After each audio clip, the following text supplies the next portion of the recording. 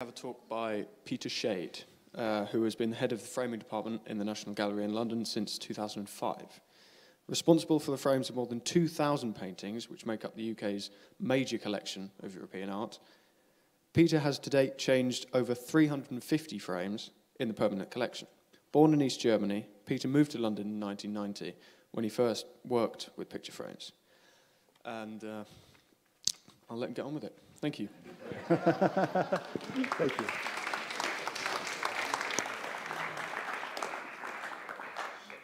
Good evening. Thank you. Thank you for coming. Um, and I hope uh, it will be entertaining. I'm trying to both, both talk about frames in general, about the specific approach that I, I kind of, um, or that we currently um, have to uh, the framing, framing the National Gallery, and how that particular way of looking at frames or changing the frames um, came about. I try, I'm, I'm, trying to kind of do a sort of partly a historical arc towards that. Um, this frame around the title is, is roughly the kind of frame that most people think of when they think of an old master frame. They think of a, gold frame with, with, typically with center and corners, which, which, is, which was the dominant old master frame um, throughout the 19th century and well into the, into, the 20th century, a French 18th century frame, basically, because so many of the paintings that came um, to our collections came via the great collections of, uh, great French collections of the 18th century. Um, and the National Gallery has gone, got one of the, one of the best frames that we have um, of this type is, is on Poussin's Adoration of, of the Golden Calf. Um, not the original frame, of, of course, was a Poussin, but a frame that was made about 80 years after. So it's a frame from about um, 1715 um, of, of, extraordinary quality. Uh, kind, the, the, kind of, these frames are the, the, the, in terms of, just purely in terms of craftsmanship and, and, and skill, these were the most skillful frames ever made. And, and frames of this quality are kind of the, the explanation why these frames were so popular for such a long time.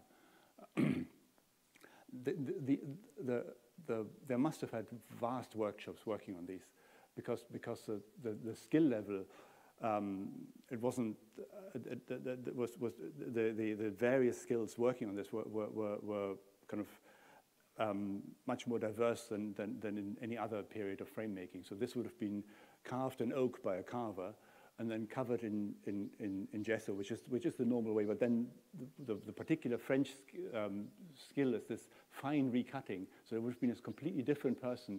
All these, all this sort of detail, all the little veins, all the, all the little um, textures that are, that are various textures in the frame, there would have been a completely different person doing that. And then somebody else would have done the gilding, and, and other people would have finished the, the, the toning of the frame. And, and they, they, they look, to start with, a bit like their 19th century cousins or the 19th century kind of what 19th century then made out of, out of these things. But, but these early 18th century frames, when they're of great quality, they're, they're, they're sort of astonishing in their inventiveness. Mean, you have kind of, it, when, you, when you look at it like that, you, you never see that the detail I'm showing you is kind of these little, these little bits there are actually faces in, on the frame that are kind of part of the ornament, and then there are other heads and, and, and sometimes there are dragons and other things sort of hiding amongst this, this, this exquisitely carved ornament. You can even see that these faces are not just the same face over and over again. This is somebody who's looking up. They've got character and, and, and, and, and, and, and to, to a degree that is, that is completely uh, superfluous. Nobody who looks at the Poussin really very few people will, will see the frame to the detail of, of, of, of these, these very, very fine, um, um, uh, finely carved uh, ornaments.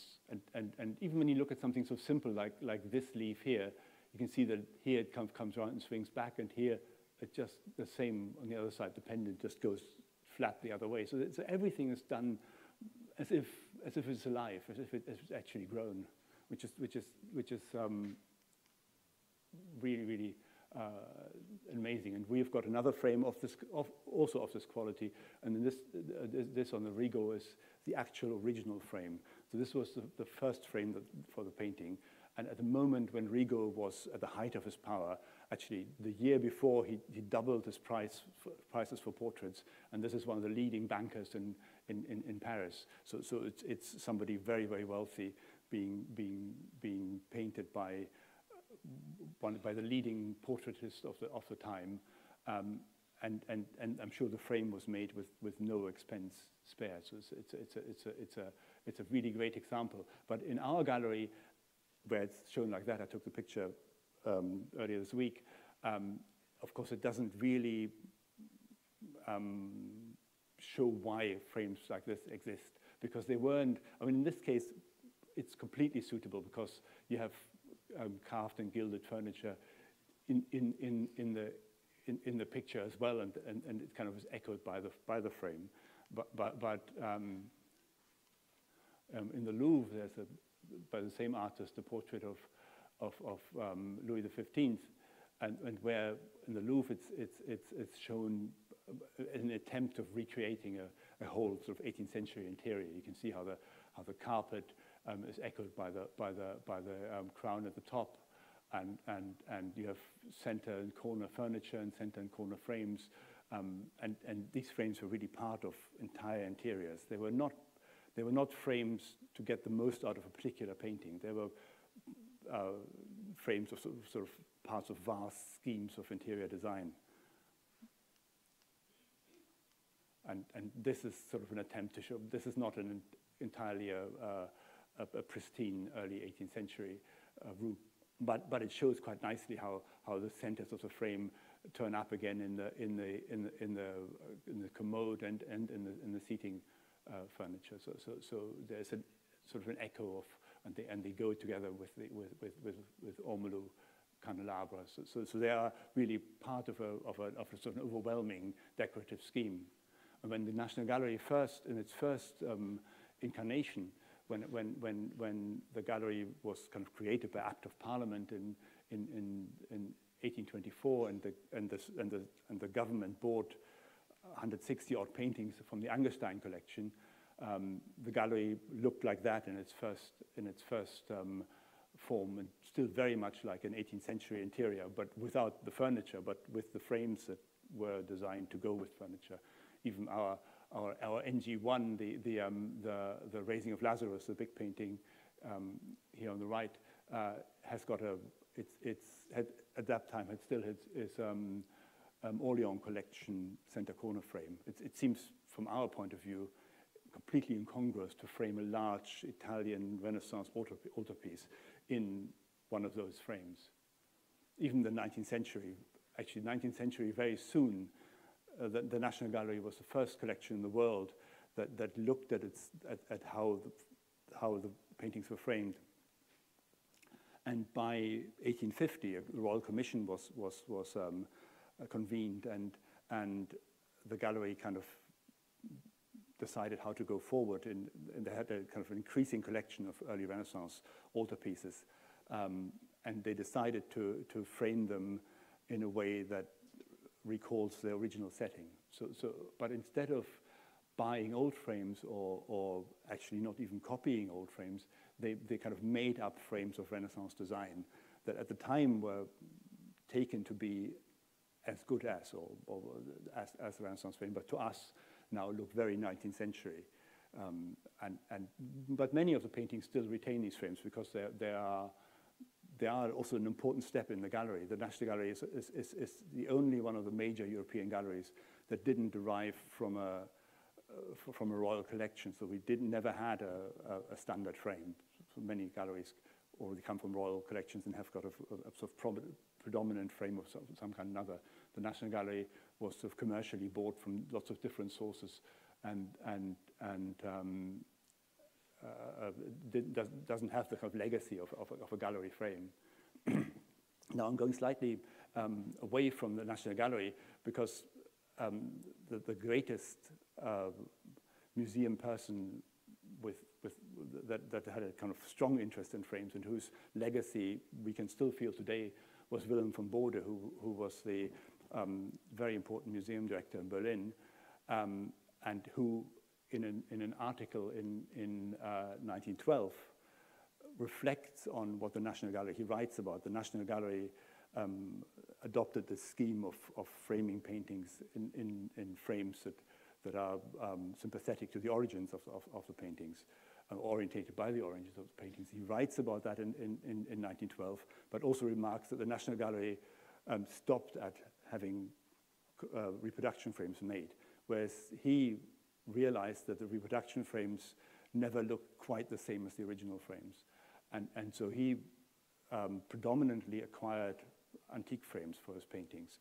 And, and, and, and, and because he was the director of the museum, later the director of, of, the, of, of, of all the museums in Berlin, he had a lot of freedom and, and, and, and he acquired um, large numbers of frames. And, he, and he, in his article, he, he, he mentions these two and, and a few others, and actually all of them, or the majority of them, are still in their Bode frames. So, so it's an approach that has um, been vindicated by by a century of, of, of museum uh, life. And they still look now like really good frames, whereas all the 19th century frames the National Gallery had made now look very dated as 19th century frames because the gilding is of different quality. The ornament um, was, was um, done sort of mechanically reproduced rather than carved like the original. So, so, so, so, so the Bode approach was, was taking this, it, this idea of the National Gallery, if you want, one step further and really trying to reunite frames with, with paintings with frames that could be taken to be the original frame. And in, actually, in one case, for, for the large Fra Bartolomeo, Bode managed to acquire the very original frame of the painting. He knew which church the painting was bought from, or, um, and, and, and, and then initially the Italian church had, had, the, had the paint, had the Fra Bartolomeo replaced by a copy, and then about 40 years later, um, that copy was then replaced by something else and the frame became available and he, and he acquired it uh, for the gallery. And in a kind of awful uh, twist of fate, um, during the war, the frame was just left in the, in the, in the, um, in the, in the cellars of the, of the museum, whereas the painting was put into a secure storage. And in the secure storage, the painting burned, and the, now they only have the frame left. So that's, that's a, um, uh, so the frame is now in their store without painting. But Bode's idea went further than just framing frames, um, framing paintings in, in the original, in, in, in, in, old frames. He, he wanted to create a museum that showed um, an entire Renaissance collection. So, so furniture, sculpture, painting, all together in, in, in, in his museum. He, he, he um, had this, he built, this museum built as a Renaissance museum. He called it the Kaiser Friedrich Museum, um, very, very um, cleverly at the time, um, named after the reigning monarch to have kind of full political support and had, had, had because of that, great freedom and, and established rooms um, that were built to, to show, uh, some, I think some, some of them with mosaics, some with, with, with um, uh, furniture, uh, paintings, um, sculptures, everything of, of, of, the highest quality. Um, that concept, unfortunately, has not been taken up. I think the, the, well, the, the way museums are structured is, is very much to separate everything, to just show the paintings, just show the sculptures, just, and, and especially the things like, like um, furnishings get, get moved to, um, away from the so-called high art, um, whereas Bode tried to show everything in, in, in in harmony, and, and, and, and, and that was his vision. And, and, and because of that, the, the, the frames were much more essential. You had to have the right kind of frame if you, if, if you, if you, if you showed it together with, with uh, other objects of art. And then after the war, the, the museum kind of survived.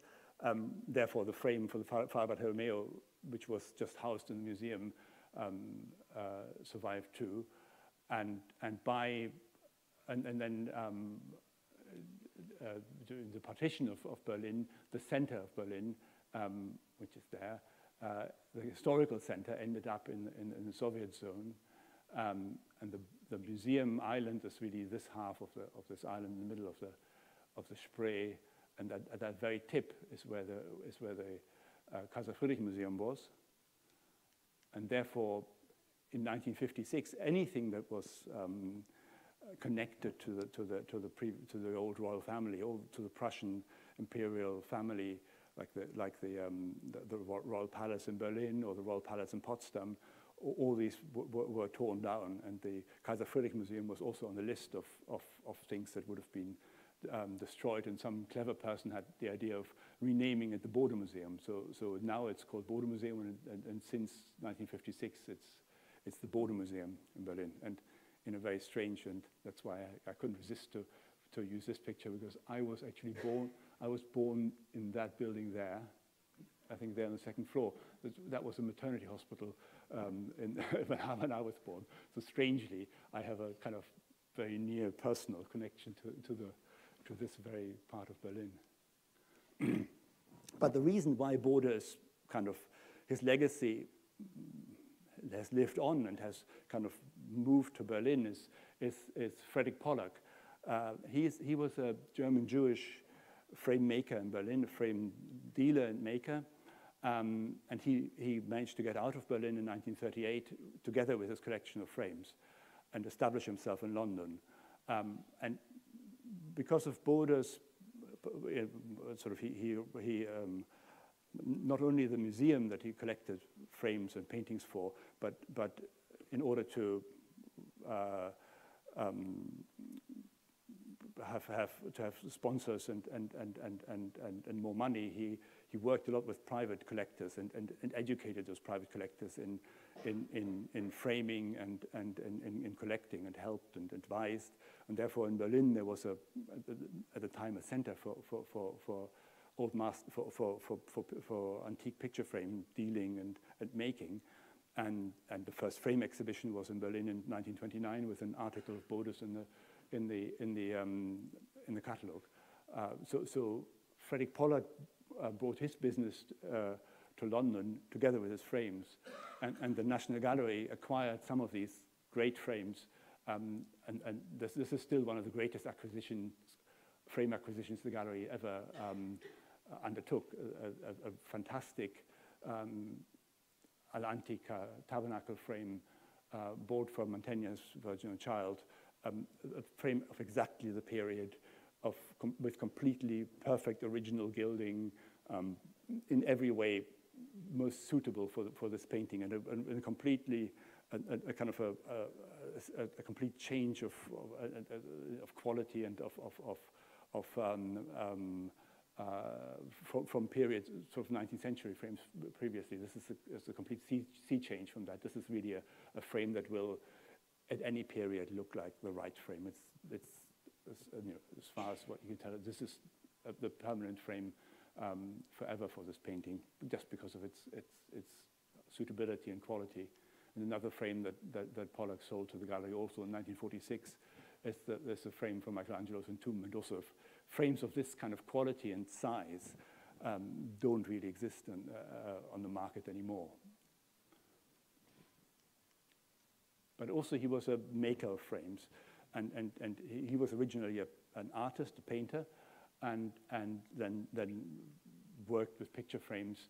And his great skill was in, in creating old-looking surfaces. Until that period, London frame dealers were still making 19th century frames, essentially frames with composition ornament and oil gilding and very little kind of sort of, if they made Renaissance frames, they were very much um, sort of 19th century versions of Renaissance frames. They weren't believable copies. But Pollak um, created these surfaces very famous for this craquelure that he, that, that he made.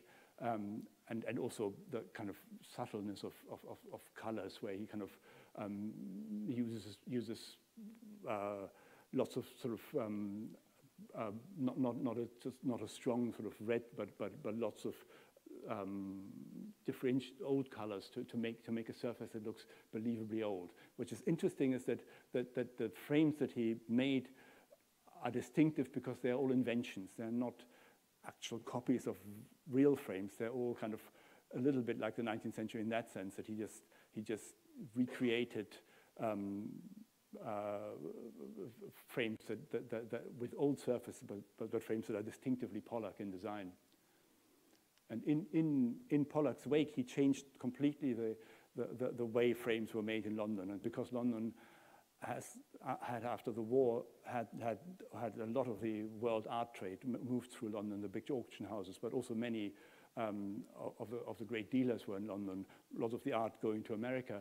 Uh, but, but, but because of that, um, because of all, the, all, all, that art that was sold in London, um, a, a, large number of frame makers, or relatively large number of frame makers, established themselves in London, and, and, and all of them with quite large workshops. So they all had workshops between 15 and 20 people, um, all of the ones um, up until uh, Arnold Wiggins. And, and the reason I'm, I'm, having Arnold Wiggins there in red is because that's where I started working when I first came to, to London in 1990. So that's my connection to, weirdly, to Bode's, Berlin, via Pollak um, and, and Arnold Wiggins, who were working in, in inspired by, by Pollak's quality and in, in the way that Pollak copied old surfaces or, or sold old frames. So, so all of these dealers um, had stock of old frames and workshops that were making faithful copies of, of them. And, and now we're at the period when this has again come to an end.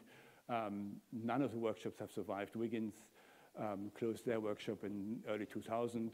Um, all of these, these dealers have all, have all um, ceased trading and, and um, Paul Mitchell and Rollo Whately work with sort of small self-employed workshops. So, so this, this, this era of large London workshops where people could come and, and, and learn the trade and then, and then, and then uh, um, specialize in, in making old picture frames, um, that has strangely ended. I'm, I now still work with people who I met 30 years ago while I was working there, and all the people I work with uh, in collaboration are of kind of my generation. It's, it's, a, it's really strange to see that um, most likely this, this, this, this, this period uh, will, will again come to an end. But, but it's, it's, it's interesting how sometimes it, like how from, from, from Berlin it came to London via really one single person. Um, one never knows how, how it kind of, where it goes next. But we at the National Gallery have a, have a large, we have probably now the largest workshop in London, um, partly because we work on, on paintings for such large, on frames for large paintings. Um, so we have a large workshop with frames. These are frames of, that we have recently bought, and then we, we make frames, and we have a variety of approaches to, to, to framing the National Gallery's paintings. So of the 350 odd paintings that I've framed, the majority, about well over half, I would think about 200, um, were reframed with newly acquired antique picture frames, which is it's a quite a long process because you have to find the frames first, you have to acquire the frame. To start with, I had to find money for each individual frame. That has become slightly easier, um, but then the frames have to be restored or quite often changed in size. And sometimes they, they, they, fit, but there's always some work involved, and even the kind of the politics of, of because I'm, I can't just change the frames in the gallery. I have to, I, I, I, I basically advise the curators, so I, I can make suggestions, and and um, so it's it's it's the, the, those 350 frames are really 350 sort of acts of um, uh, various skills. In this case, for the, for the large Veronese elevation of the Kings, we bought um, really the, the, the, remains of a frame in Italy. This, this was really, um, very little of this was, was, was, was sound, really just that, that piece there, which is still the bottom right-hand corner of this frame, um, that was in, in sound kind of useful state. Everything else, and some of it we couldn't even retain. It was, it was really a, a, a, a fragment of an old frame, but an opportunity to create something, to make something out of it, and to make something actually much bigger than the original frame, um, but that still retains the flavor of the original because because we use and you use all the old bits near the bottom and then the entire top is new and and, and coming down uh, there's there are more new pieces but when you stand in front of it even I can't because I work with very good people who do the surfaces. I'm a carver myself, so I'm, I'm, I'm, I'm, i have the idea and I work on the wood, but I work with, with very specialized people who, who are able to, to, to copy surfaces to, to, to, to, to, make, to make even something this big completely believable. And so, so in, in, a similar way, we also reframed um, Leonardo's Virgin of the Rocks, which used to be in this 19th century frame. This is very much um, the, the, the, kind of 1880 style of, of framing. The gallery had, uh, had three of identical frames made, uh, modeled on a doorway of a Venetian church um, that, that is kind of uh, identifiable by these very uh, distinctive capitals. But, but you can see that, that, that um, if, you, if you model it on a doorway, you just have the pilasters and the architrave. And really, they had no concept of what to do um, with the spandrels at the top or the predella. Those just basically um, left un, un, unornamented or un, un, un, uh, um, unmotivated. And, and, and the big difference to using old pieces and, and creating something that is, that is um, modeled on, on, on, on antique frames is that even though there is a lot more ornament, the ornament is much less distracting because the ornament creates a kind of background rhythm and the, the, the painting is the, is, is, is, the main act, whereas in, in, in, in this frame, these spandrels and the empty, the empty predella are really disturbing forces in, in, in, in the way you can look at the painting. and, and how we made this famous, we, I, I, I, I found this, these remains really again um, just, just um, fragments of, of, of, of, an old altarpiece frame at an auction in, in Genoa, an auction of 3,000 things with, with sideboards and candlesticks and everything, and lot 760 something was, was, was, was this frame, and, and we managed to acquire it for the gallery, and it is still, the pilasters and, and the architrave at the top are pretty unchanged. I, I left them with all the imperfections and, and, and, the, and, and the losses, and, and only added the necessary bits to, to fit the painting. And the, the bits that we added were, were informed by this large altarpiece, which is made by the same workshop that made the, the original frame for our uh, Madonna of the Rocks. So the del Maino workshop um, made, also made this frame, and, and luckily the, there's, there's also a frame with pilasters of gild, gild, gilded on blue backgrounds, and we could use the roundels for that. For those, the predella is actually this design up there, up there, and even even the the, the, the is, is, is repeated on top. So we had we had sort of historical evidence to bring it very close to. And of course, this is not the like the original frame for our painting. Our painting originally was a polyptych. We know that it was it was surrounded by pieces of sculpture and more paintings above. So it's, it's, a, it's a kind of recreation, not of something that was actually there, but of something that's sympathetic. And I think of something that Leonardo would have also recognized as a frame. So we're coming back to, the, to Mackenzie's watercolor of the, of the um, National Gallery at, at, at uh, Angerstein's house, because um, we also refra reframed um, Sebastiano Piombo's Raising of Lazarus, which, which was first in this 18th century frame, which is lost because that was a bit of a shame because that would have been a great curios curiosity to have.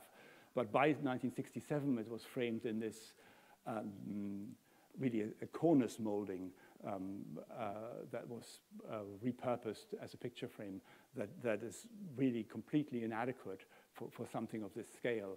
And, and, and we made a frame um, where I actually I bought at the same auction where I bought the pieces for the Madonna of the Rocks, there was an enormous, really gigantic, this big, um, this deep and, and four meter wide uh, architrave of another frame, but just the top. Um, and, and I bought it speculatively for almost nothing, for like 4,000 euros, um, uh, because I thought this could be the spark for making this enormous frame. Um, because I knew that in, in Narbonne, in the Cathedral of Narbonne, where this, paint, where this painting was, was, was destined when it was, was, was shipped to, um, in the Cathedral of Narbonne, this, the, the predella had survived. So we knew what the bottom of this frame looked like. And, and not only uh, with, with this kind of um, bottom you, you, you, piece, you, you, do, you, know, you also know what the rest of the frame, what type of frame it was. So it must have been an architectural frame with columns at the side and an architrave at the top. And then, and then weirdly, those swags come back over there. So, so, so, so, so, so, we, so, so this, this, this piece that, that we managed to acquire had a resonance at the, at, at the Predella design. And then for the Sebastiano Michelangelo exhibition about eight years ago, we actually managed to make uh, the entire frame, which, which, which has, so in, in, the, so in the workshop, we, this was a piece that we bought um, which were, then was enlarged by about a meter, and we carved gigant. This is an original column that we had uh, uh, as a model, and we carved gigantic versions of it, actually half round, and and we we, we made the predella piece new, and and capitals. And that, was really probably the big. That was the biggest and and most um, impressive. Uh, frame that we made and, and up until recently it hung in the vista where it makes even more sense because you see it through a doorway and it creates another doorway and these frames are designed to be doorways. You look, you look through a doorway into, an, into, a, into a devotional space. That, the, that's the function of these frames is, is, is, is, is to, to, to, to have an outlook into, a, into a, like a magical world, but in a, in a world of, of, of saints and, of, and, and, and, and, and, and, and of, that you can sort of look at in devotion. But it was, I mean, at the moment, because the gallery has been closed and, and, and, and very sort of um, reduced in its space, they've actually put the, this painting back in its, in its 1967 frame, which is a, um, I think is a great shame, but um, eventually it'll go back into this frame.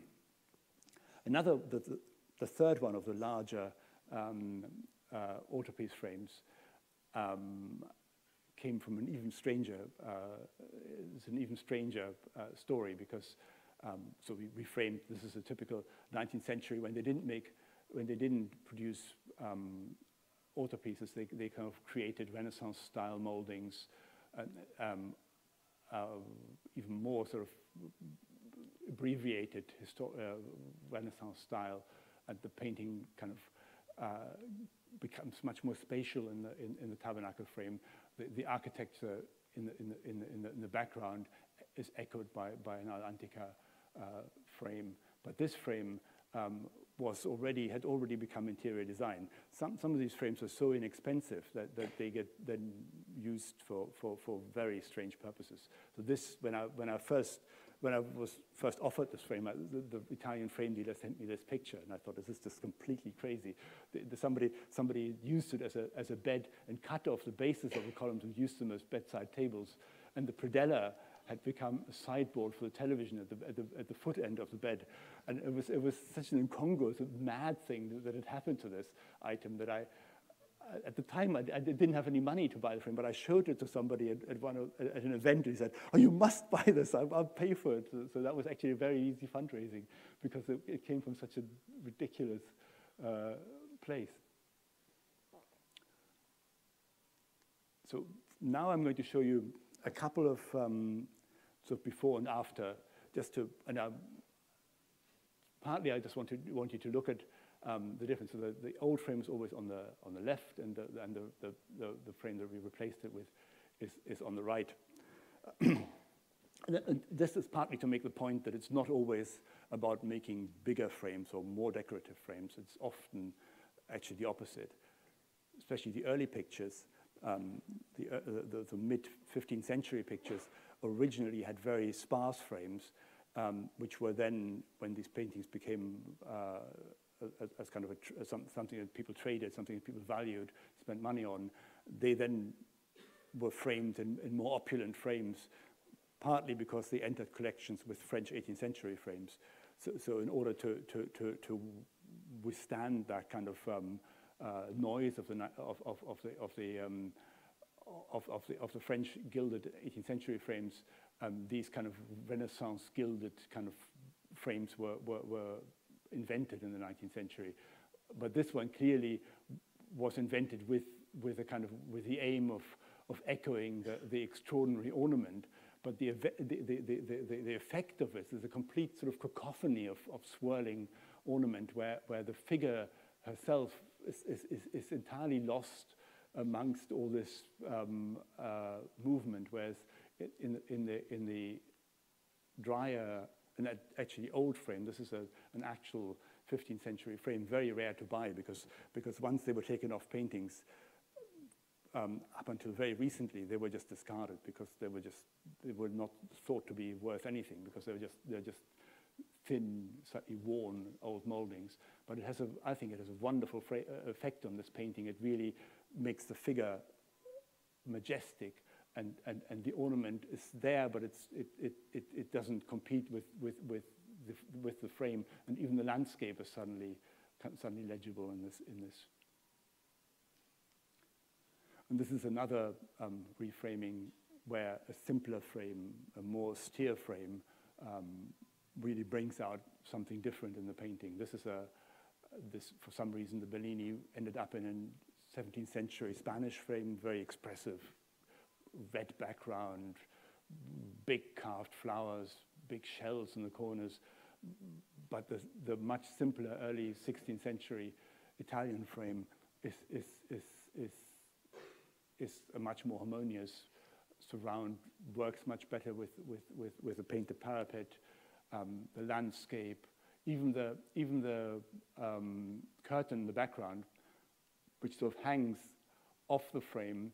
Weirdly, they're, they're, you can't you can only just see that they're actual hanging hooks of a curtain at the corners of the frame. So this frame was a frame for a religious uh, image.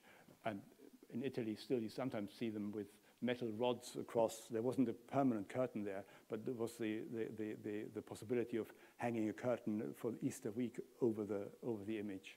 Um, and and we, I've, I've acquired several frames with that device for the gallery. This is something else that, that, that was lost in, in the kind of reframing of paintings over the centuries. Um, because when, when paintings became collectible and were collected by, often by, by um, palatial collections, uh, only gold frames could possibly survive. Um, we know from inventories of the 16th century that more than half the paintings were framed in walnut frames, in wooden frames, or wooden and gold frames. They're never particularly specific about the, the, the, design of the frame, but they usually say gold frame, walnut frame, or walnut and gold frame. So, so I almost reintroduced, I think we had one walnut frame at the National Gallery. Um, this is one that we bought uh, that is of superb quality, was the right size for the painting. So that also sometimes happens, that we find frames that are exactly the right size, where we do have to, have to do very little to, to the frame. Um, these are, this is, this is a physician and his son, uh, painted by Lorenzo Lotto, um, and, and to my eye, much, much happier because they're, they're not courtiers, they're not, they're not gentlemen, they're, they're, they're, they're, they're working men of the, of the, of the highest um, uh, achievement, but, they're, but they're, they're, they have a different sort of pride and, and, and, and, and, and, and outlook. And, and I think the, the, the kind of high quality wooden frame um, is, is, is, is, is really the appropriate um, surround for those. And this is another um, instance where we have removed uh, a, a, sort of Renaissance style gold frame and replaced it by a period walnut frame. The sitter obviously sitting in a simple wooden chair. I think it's a, it's a poet and a friend of the, of, of, of the artist, much more at ease in the, in, in the simpler wooden frame. And then something completely different. Uh, a Murillo uh, Spanish painting, for some reason, ended up in this kind of neoclassical um, Spanish gray frame, and we found a, a period 17th century Spanish frame, uh, uh, um, black and gold reverse molding frame that also fitted exactly. So, so, so, so I'm showing you a slightly random pick of the 350 um, reframings, but some, just, to, just to show, again, I think the, the, the, frame um, just sits much happier, much softer on the painting, um, and, and evokes a, a, a, Spanish interior of the 17th century.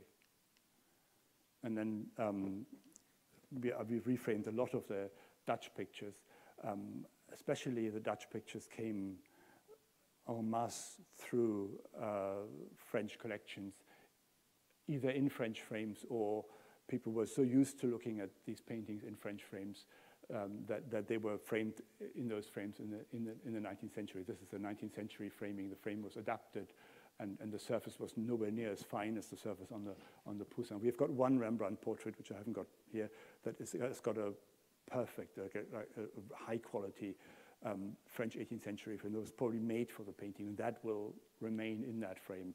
just because it's, it's, it's a frame of such quality and, and, a, and a kind of indication where the painting came from. But this was just put around in the, 18, in, in the 19th century. And, and we acquired a, an, an ebony frame of, of, of really great quality, bought in Madrid actually, um, um, also the right size for it. And, and it, it does transform the painting because here Rembrandt's head kind of looks out of a sort of soup of yellows and browns, um, from, from, frame to, to, to, to, body, and really the, head almost swims like, like the moon in the middle of it, whereas this frame um, makes the body much more three-dimensional. All the space works better, but, but especially that, that arm um, sits much more um, three-dimensional in the, in, the, in the frame. And this, this is um, a Van Dyck portrait again, I mean, almost without explanation, the frame on the left is, is a 19th century kind of a, a bowl of gilded spaghetti with the, with the painting in the middle, whereas the frame on the right is, is just, it just sits so much more um, gentle and, and, and, and correctly on the, on the painting. A walnut frame, Flemish, of the period. And we also um, frame, of course, frame um, more modern pictures. Degas had a great interest in, in frames. These frames, th these, frame, these frames are called Degas frames. He made drawings of these frames. Um, he was quite fanatical about, about the framing of his pictures. There's a, there's a story where, where he, he, he goes to dinner at, at, one of his patrons, and the patron um, proudly shows him the, the, the reframed, his reframed painting, and Degas takes it off the wall and takes it home with him because he was so appalled by somebody changing his frame. So, so he was quite militant about frames, but, but ne uh, nevertheless, people over the years um, have framed Degas just in the same French 18th century frame, which was the norm for, for framing um, uh, old master paintings. And, and I find it particularly awful, these cloth-covered slips, which is a kind of 1970s uh, invention.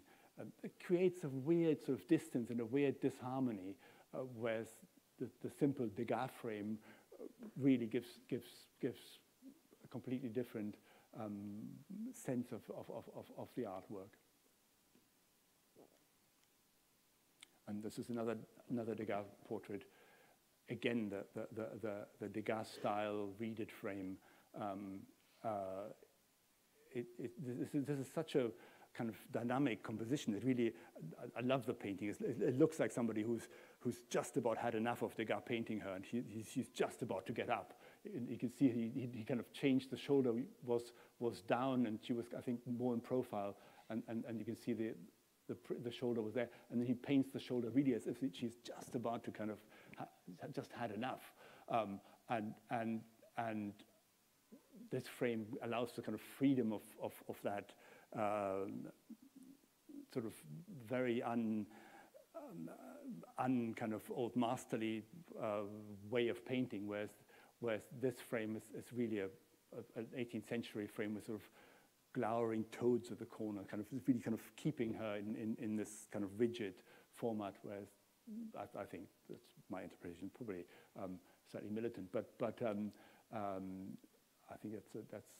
uh, very successful frame. Another frame, the, the, the Corinth portrait, Lovis Corinth, German artist, um, late 19th century, uh, came in this shockingly awful frame. I mean, that, that, that we had actually kept the frame just for comedy value, but this is really an um, incredible way of framing a, a, valuable painting. And we found a really nice uh, um, early 20th century wedge section frame with a tiny little, that doesn't come across so well, has got a tiny little edge of gold, which, which, which, is echoed by his ring. He's got a ring with a tiny line of gold and also his glasses. All that kind of is echoed by the frame in a, in a, in a, in a picked up in a, really, in a really nice way. Also, the volume of the person works better in, in, in, in that frame. And another function of frames um, is that, that we sometimes frame entire exhibitions in old frames. So for the Poesie exhibition, which sadly was almost entirely um, without visitors because it fell right in the middle of COVID, um, but the National Gallery brought together for the first time in 500 years a group of paintings that were painted for Philip II of Spain by Titian, so for the, for the greatest um, emperor at the time, or one of the great, great emperors at the time, um, very important commission.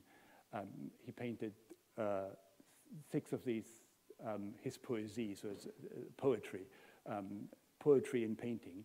Um, but they were all, they've all ended up in different frames. Uh, the Wallace Collection, um, um, the Stewart Gardner Museum in, in, in, in Boston, um, the Welling, Duke of Wellington's collection at Apsley House, uh, the Prado, and, and those two uh, at the National Gallery.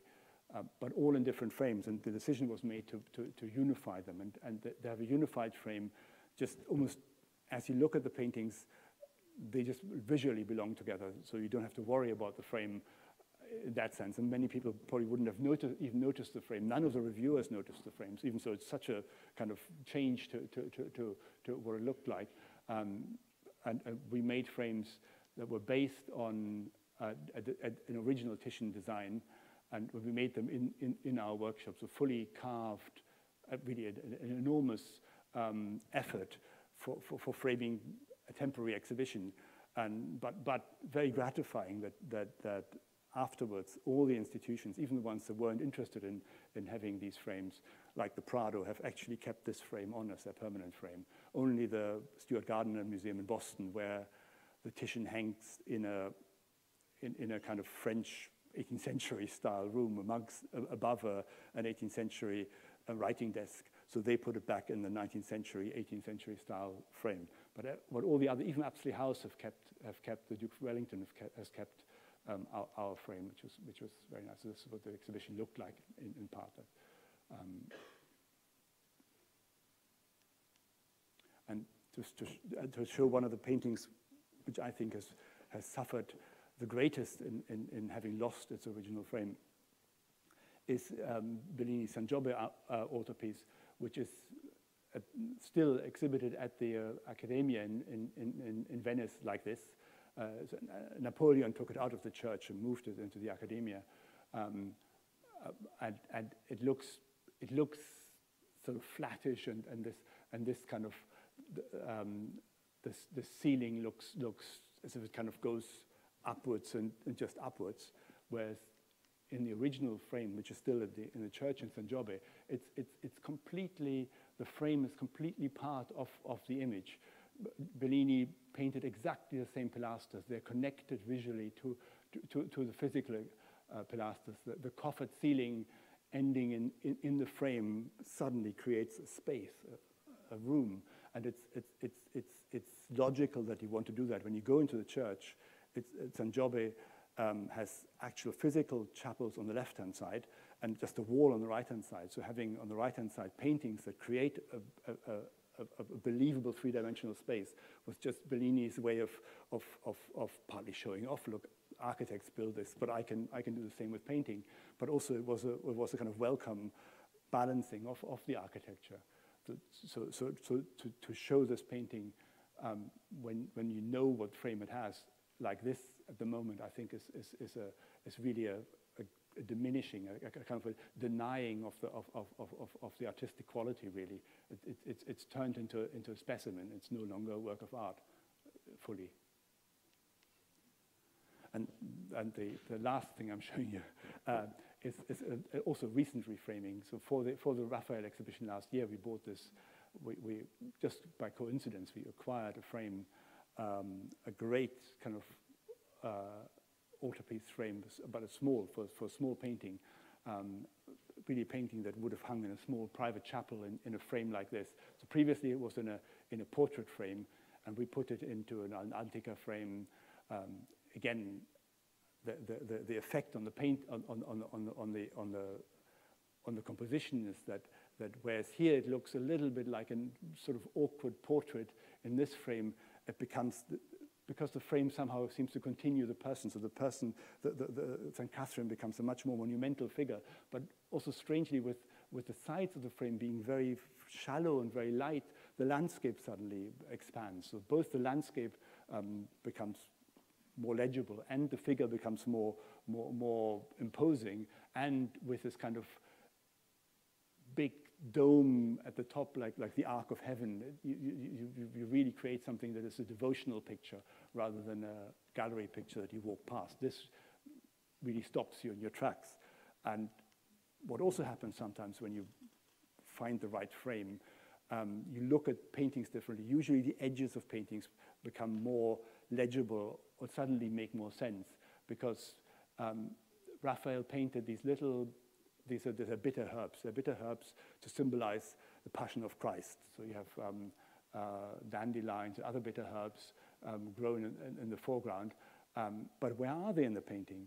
Um, they can't be growing on the ground because this is St. Catherine standing, so her knee is about there, her foot will be down here. So, so this would be a dandelion that would grow up over a meter from the ground. Um, they can also not be behind her because they would be much smaller. Raphael painted them to come out of the ledge of the frame. It, it needs to have a frame with, with a, sill, like a window, like a, like a ledge, where in the cracks herbs could, could, could, could grow. And I think Raphael painted the painting for a frame like that, or possibly even into a frame like that, because, because these little plants make no sense in a frame like that. They, they, they're nowhere, whereas in this frame, they're actually anchored. Yeah, that is, that is the end of, end of my talk. I thought I'd finish off with, it's, it's, it's really just scratching the surface of the subject, of course, that is, for me, um, very big. I was, tried to um, bring it to something uh, that, that, that hopefully encourage you to uh, look at frames and, and, and, and see what frames can, can do to paintings. Thank you very much.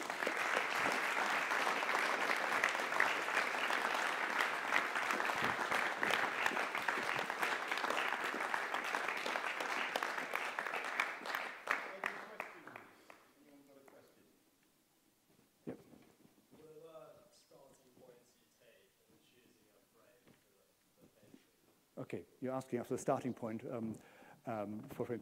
Quite often, and we're doing it really the wrong way around. Most museums will pick a painting and then start to look for, for a frame. And that way around, you, you, you have to go to the big major frame dealers because they have stocks and, and of, of frames. But you, you kind of rely both on the availability and the taste of frame dealers. Um, whereas I look for frames first, so I find the frames, like in this case, the, the, the, Italian dealer sent me a photograph of the frame, said, I've got this frame.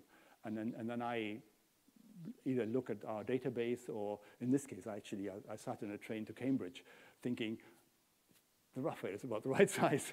Uh, so, so, so, so, but, but it's, it's, it's, it's, it's driven by the kind of um, appearance of frames on the market.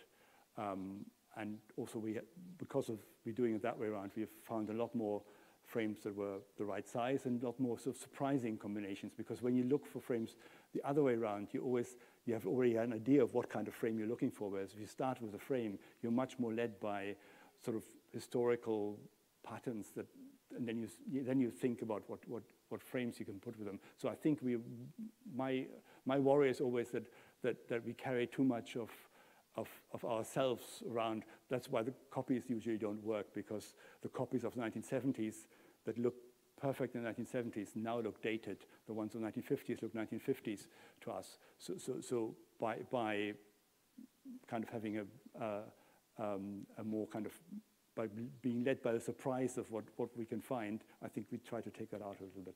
Hope that answers the question. But usually from the frame.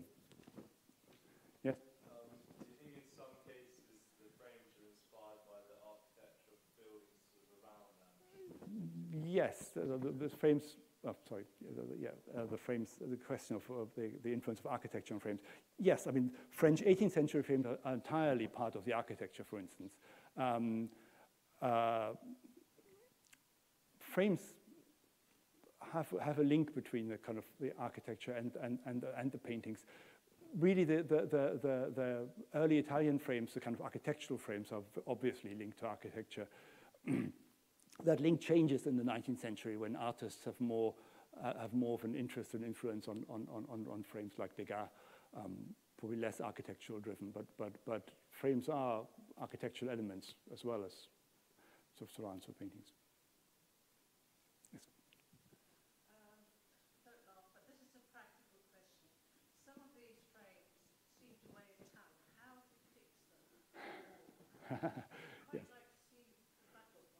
question of the weight of frames uh, and how to fix it. Well, the larger frames are supported by brackets. And even when they have plinths underneath them, the plinths are usually for show. Um, they're held by, by steel brackets uh, in the gallery, mostly. Uh, anything that's kind of above 100 kilos. I think below that it's hang, hang, hanging on wall fixture, fixtures and, and, and, chains. Actually, the most, the heaviest part um, uh, in, in framing pictures is the glass, when we have to glaze pictures because of attacks and, and, and, and, and sort of environmental dangers. Um, that adds the greatest weight because the glass is, is usually two sheets of glass, laminated glass, and that's very heavy. Often adds like 60 kilos to a frame.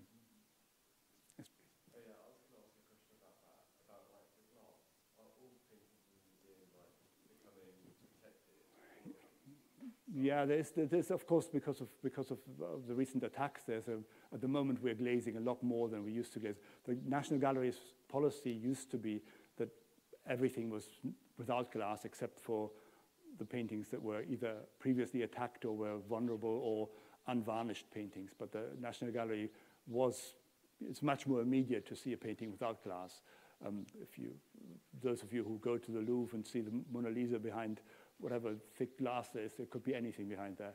Um, you lose completely. Also, you lose, you lose that sense of, of a real object, and that's partly what frames, the right frames do. They give a sense of, a, of, a, of, an, of an old object, of a, of a, of a, of a thing that, you, that has a, a, a, a three-dimensional real life. It's not just an image on the screen or a, or, or, or, or, or a picture behind glass.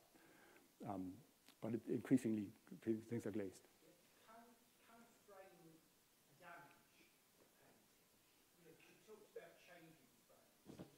Yes, yes, frame, frames can also damage paintings, especially um, really up until fairly recently.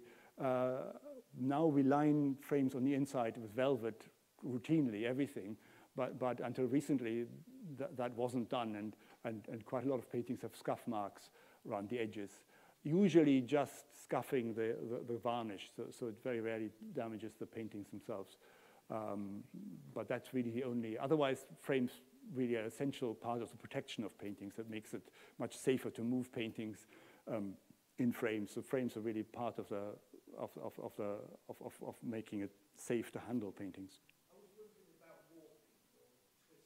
No, not, um, not to my knowledge, no. I mean, paintings, paintings twist when they're painted on, on, um, uh, on, on boards, on, on wood, uh, wood panels. Um, but very rarely, I mean, unless the frame is too fiercely secured to the paintings, then possibly sometimes it can, it can restrict the movement of the painting, but it's very rare actually. Oh.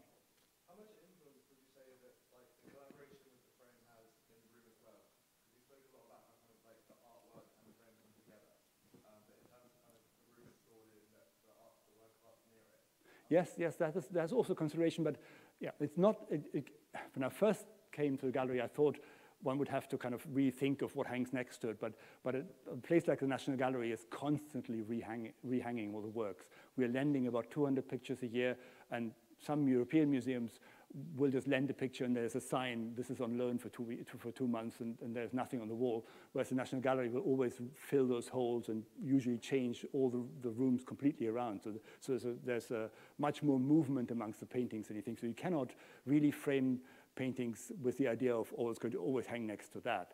Um, but the approach that, that, that, we have and that Bode had, and he also remarks on that in his article, of framing um, paintings in frames of the period and of the, of the origin, and then you end up with a Venetian 16th century room with Venetian 16th century painting uh, frames on Venetian 16th century paintings, and those in some way relate to each other. So in whichever combination they hang, they look right because it's kind of sympathetic.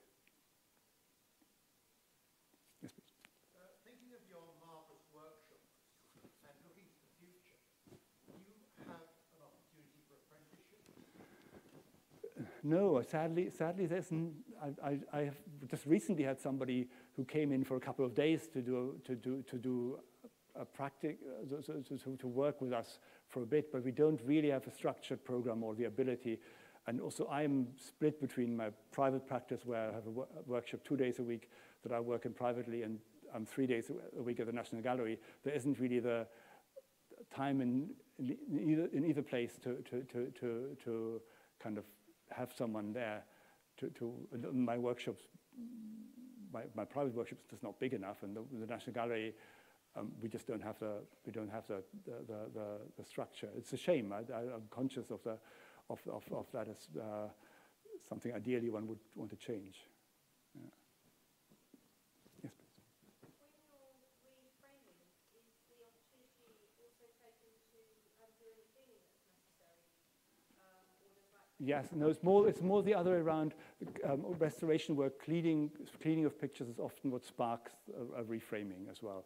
So, so we do fr frame, for instance, the recent um, restoration on the, of, of the um, Francesca's um, um, nativity. Uh, we, we, we then um, reframe the painting. Sometimes in, in, in con when conservation work happens, um, the size of paintings changes, changes because additions are taken off or, or pieces of the painting are revealed and, and the, size changes and, and you need to have a different frame.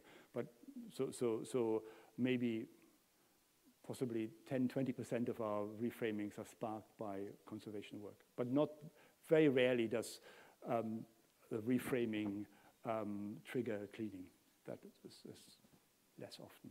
But sometimes I've reframed a, a Caravaggio, uh, Caravaggio, the, the, boy bitten by a lizard, um, and, and somebody from the education department asked the conservation department whether they have done some treatment on the painting because it looked so different in the new frame.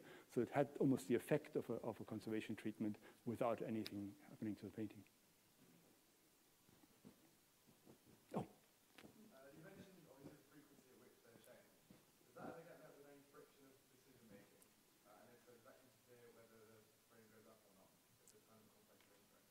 Um, yes, I mean, it, it, sometimes happens that things are, um, or just leave on, on loan um, and, and, and, and, and, the reframing is postponed. But I, I, I, view the work that we do as very much something for, for, for, for, for, for, for the long term. So, so, so a delay in, in, a, in a few years or in a few months is, is not really of, of great concern.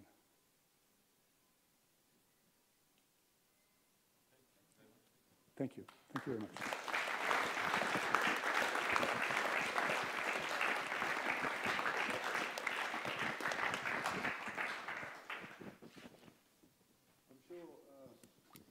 I'm sure some people will walk through even art galleries and look at uh, look at the art with some kind of less care in their eyes. But um, I feel like it's such a shame that uh, such passion and beauty and even the frames goes unnoticed by most people. And uh, what springs to mind for me is uh, the 2018 auction in which uh, Banksy shredded one of his paintings through its frame. Mm. And um, at which point I, I believe the, the frame which the art is housed in becomes part of the art itself, which is something you mentioned with uh, the Bellini and the Raphael. So uh, I think when we all go to a gallery again, we'll look more deeply at the frames around them because, as you've outlined, they really do matter. So thank you, Peter. Thank you.